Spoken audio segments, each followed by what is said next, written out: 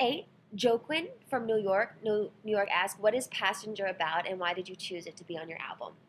Passenger is about a girl who's in love with a guy and she's going to actually let herself go and be a little bit more vulnerable towards him and let him take over in what he does in the relationship and just kind of um, let him guide her.